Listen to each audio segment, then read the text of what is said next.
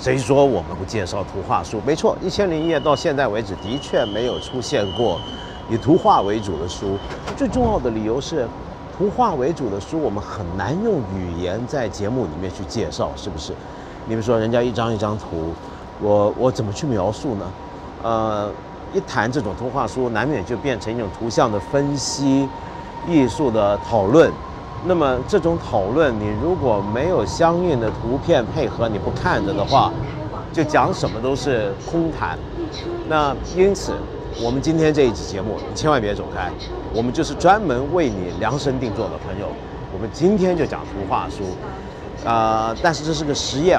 我不知道成不成功，大伙看完要告诉我你们有什么想法。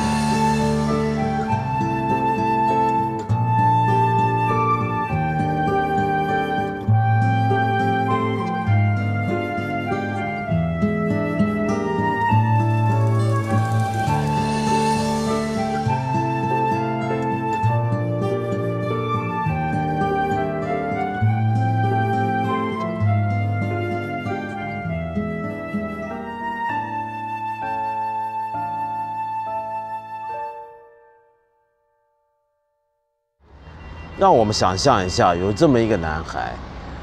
从小的时候他就没有见过他亲生的父亲，因为不知道为了什么理由，他的父亲离开了他，抛弃了他的妈妈跟他，让他们母子相依为命。然后过去几十年里面，他可能不断的在想，为什么我爸爸当初要离开我，是为了什么理由？是为了另一个女人吗？是因为他跟我妈妈当时只是逢场作戏，意外的怀下了我吗？如果我是一个意外的产物，那我的存在会不会是一个错误呢？然后这个男孩这几十年里面，他经历了许多东西。由于自小没有一个父亲，没有一个男人在家里面做榜样，他要肩负起照顾他妈妈的任务。他妈妈单独的抚养他长大，可能要出外工作。那么很多时候，反过来是这个小男孩在家里面看家、打扫家务、要做饭，然后回到学校里面的时候呢，他可能会有点阴郁，他甚至可能还是个瘦弱的小个子，于是，在学校里面会被同学欺负，他很害怕被人打，他常常在学校里面躲在一个角落，孤孤单单的一个人。这几十年里面，他的情绪起过几番的变化。想起他的父亲，想起他的身世，有时候他会非常的愤怒，有时候他会非常的绝望，但大部分的时候他都是孤独的。像这样的一个小男孩，他的故事，如果我们把它换成用漫画来处理，各位觉得那会是一本什么样的漫画呢？说到漫画，我们今天在这个节目里面介绍漫画，很多人都会觉得太奇怪了。我们不是要给大家介绍经典书吗？那漫画怎么能够算得上是一本经典的书呢？我想有这种想法的人，你的偏见大概太严重了，你太小看了漫画的潜力。我自己是一个很热衷的漫画读者，我很喜欢看漫画，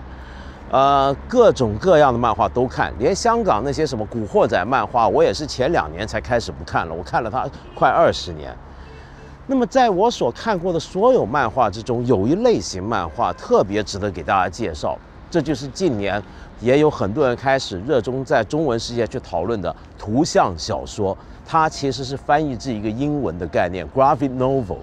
所谓的 graphic novel 这个名词其实是有争论的，有的人认为其实还是就叫回漫画就好，但是为什么还要另外为它取一个专门的名字叫图像小说呢？那是因为他们认为有这么一种漫画，它跟一般的漫画不一样。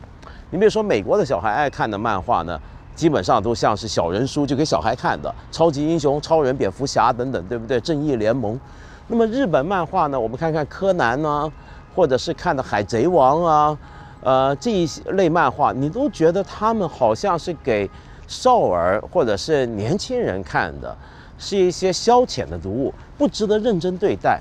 然而有这么一种漫画，他们探索一些很复杂的、很深刻的，过去传统上我们认为是应该是交给严肃的文学家、小说家来处理的题材，甚至有时候他们会触碰一些相当敏感的历史题材，写出来、画出来之后，你觉得这简直不能够叫做是一个虚构故事。的确，图像小说这个词儿之所以惹起不满，还有一个原因，就是因为有时候。有一些用漫画被人呈现出来的东西，被人当作是图像小说的这些作品，它根本不是小说，而是纪实作品。举一个例子，大家有没有听过有一本漫画或者这种图像小说叫做《Mouse》老鼠？它的作者是一个非常有名的美国的一个实验漫画家阿斯比格曼，阿特斯比格尔曼。那么这一位作者呢，在一九九一年、九二年的时候出版了这本《Mouse》。那这个书相当的惊天动地，当时，因为他基本上是在讲的是他身为犹太人的，呃，逃难，当时曾经他的父亲逃离过纳粹德国的迫害的那个故事。他访问他父亲，谈起当年的事迹，然后用漫画把那个访问回来的事迹表达出来。然后在这个书里面呢，他把犹太人都画成老鼠，把纳粹分子呢画成是猫。那么这部书出来之后，惹起非常大的争论。那么当时在美国呢，非常畅销。那么很多最严肃的文学期刊都认为这本书太了不起、太伟大。过去没想过漫画也能这么搞，也能写得这么深刻。然后呢，《纽约时报》它那个畅销书榜呢，把这本《Mouse》放在了是呃虚构类别里面来看，它是排第几位。然后呢，斯皮格尔曼呢就写信去抗议。他说：“我这不能叫虚构，我这个其实是纪实类的，它怎么会是虚构的呢？”那么当时惹起一番争议，乃至于后来普利策奖，我们都知道这在美国是一个多么重要的新闻、文学跟媒体类的大奖。当这个奖决定要颁奖给这部书跟它的作者的时候，他们也挣扎了一番，到底该把它归成哪一类才好呢？后来他们决定把它放在一个特别奖的范围颁给他，是第一个得了普利策奖的漫画，或者我们现在叫做图像小说。然后阿斯比格曼他除了自己画漫画之外，他也办了很多很重要的杂志，在这个杂志里面呢，服役了许多的漫画的新晋。其中就包括我今天给大家介绍的这一本《Jimmy Corrigan: The Smartest Kid on Earth》，吉米·科瑞根，地球上最聪明的小子。他的作者 Chris Ware，克里斯·维尔，就是在斯皮格尔曼的漫画的刊物里面开始实验，开始崛起，开始进行自己的创作。这个 Chris Ware，他也是一个很特别的一个人物，一九六七年生，他就是我刚刚。开头跟大家讲的那种男孩子，从来没见过他亲生父亲，那么一直都非常的内向。你看他的照片，高高瘦瘦，手指很长。根据他自己的描述，他真的就是年轻的时候呢，很害怕被人打，被同学欺负，然后是个书呆子，那么总是暗自期望自己那个男人的体格的那一面赶快到来，成长起来，健壮起来。但是他说那一面始终没有来到。这么一个自闭的内向的小孩，他发展出一种极力追求完美的，变成有点偏执狂的性格。他画出来的漫画风格是怎么样的一种风格？我们看这本书就知道，它里面很多的画面的经营格式都非常非常的精准，乃至于很多人以为是用电脑辅助工作，其实不是，他一手一笔把它们画出来。他的色彩的运用有点像他的偶像，就是画 Snoopy 的舒尔兹。单面的单色的一些的色彩，大片大片面积的色彩填满一格，非常的鲜艳，非常的漂亮。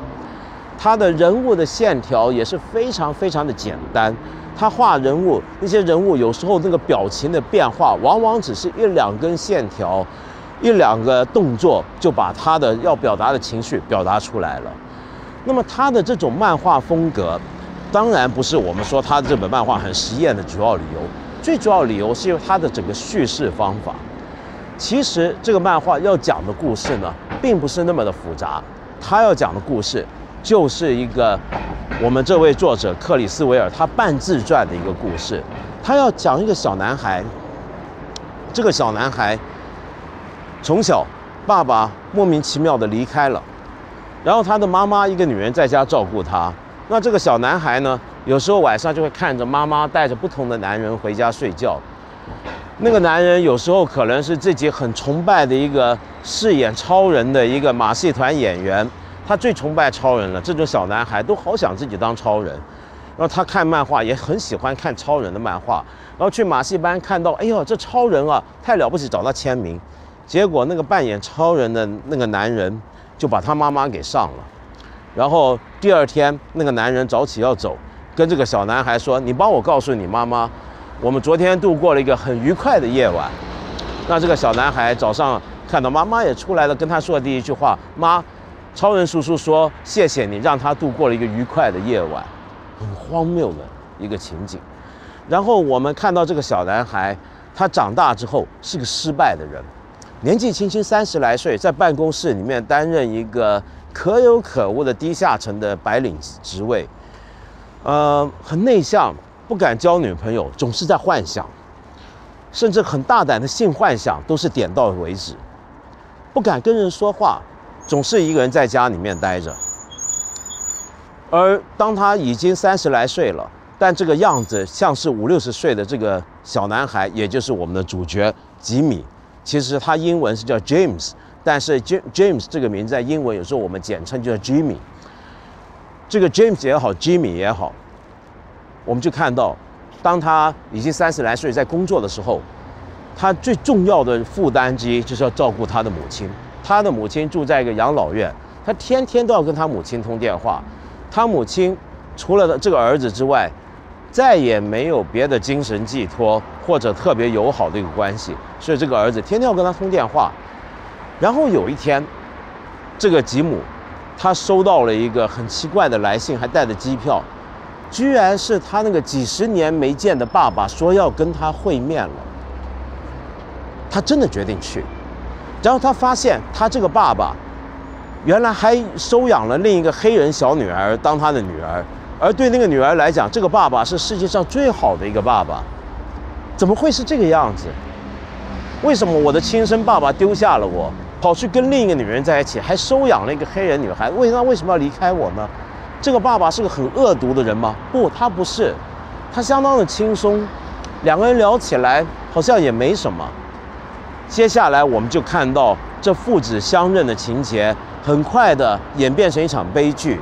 一连串的意外使得这个父子相见了才几天，这个他这个好几十年没有亲见过的亲生父亲就死了。然后这个时候，故事变得就转入另一条线，出现了一个一百年前的故事。一百年前，我们这个主角吉姆，他的爷爷的故事。原来他的爷爷的遭遇跟这个孙子几乎是一模一样。小时候就跟着自己的爸爸长大，妈妈死的相当早，然后家里面就只有爸爸跟奶奶。后来奶奶也死了。这个爸爸呢，就常常虐待儿子，对儿子非常的凶狠，最后甚至还把他丢到一边不管了，抛弃他了。在什么情况下抛弃他呢？那就是在一八九三年的芝加哥世界博览会。那一年的博览会在世界上是非常重要的一个博览会，它叫做哥伦布博览会，因为当时为了要纪念的是哥伦布发现新大陆四百周年，而那个博览会很有名的一个地方就是第一次的。把整个美国城市的路灯全换成电灯，是第一次人们看到电灯能够燃亮整座城市。它代表这个新时代新希望，尤其对芝加哥这座大都会来讲更加重要，因为此前芝加哥发生过一场大火，整个城市几乎尽毁。那么这一次的博览会代表它从灰烬中重生，所有人兴高采烈要迎接这个博览会。然而就在这个博览会上最高潮的时候，有份在里面当工人的这个吉姆爷爷，他的爸爸就把这个九岁的小孩扔在现场，消失了。他几乎以后就像孤儿一般的长大。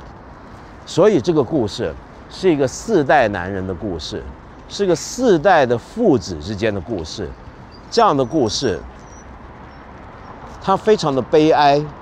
好像有一个命运的循环。然后里面我们看到大量的关于一些人生中不可免的失落、寂寞、清冷的这种情绪的处理。更加复杂的是，它整个漫画，它采取的是一个多线进行的方法，非常的实验。很多人一开始看这本漫画是摸不懂它到底是怎么回事儿。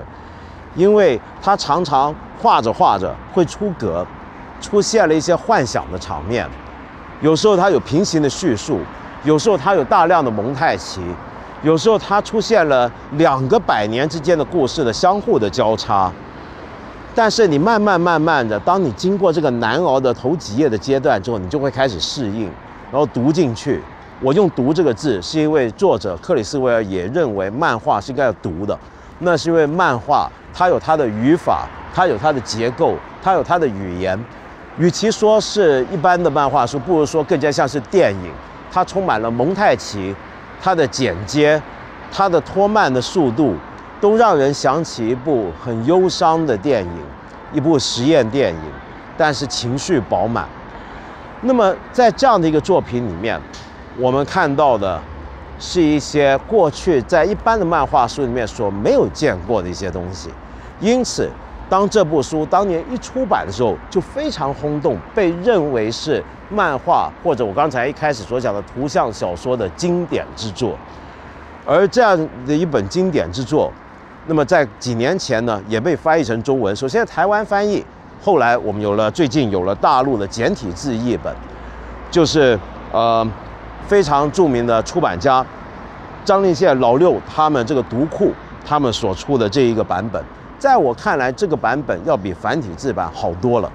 它的字体非常考究，它的翻译、它的编订，乃至于纸张，都相当相当贴近原来的版本，而且很忠实的表达这个漫画它的特点。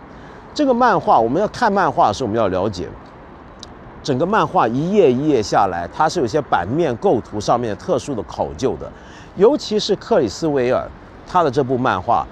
他的风格有点像美国二十世纪二三十年代的那种漫画风格，有那个时代的一些的烙印。那时候那些广告、一些的广告上的字体，它都大量的沿用。这些东西怎么弄成中文呢？这是一个问题。而美国人一看这些东西的时候，他马上就会进入到一个怀旧的感觉里面。于是，这种怀旧的感觉就更加烘托出了这部图像小说它的那种对于一个失落的过去的一种怀念的那种情绪。但是，那个所谓的失落的过去，它其实一点都不让人愉快，它一点都不美满。那么，说了那么半天，我们不如就让大家来见证一下这部伟大的经典的漫画里面，其中两个我觉得相当有意思的场景。一个就是这个活在二十世纪当代的吉米·科瑞根，他怎么样在办公室里面接到母亲来的电话，而与此同时发生一个很荒谬的事情，就是一个穿着超人装束的一个人在对面大楼上面跳楼自杀。然后我们再看第二个场景，就是这个吉米·科瑞跟他的爷爷，在一百年前的时候，在那个家里面，他祖母已经病入膏肓，快要死的时候，那一夜所发生的事情。只是看这两个片段，我们大概就能够马上的沉浸到这部漫画、这部图像小说里面所要带给我们的那种感受。如果你把这两个片段看完，如果你把整本书看完，你会发现，漫画要比你以前所知道的承载感情的能力，要比你所想象的要大的太多太多。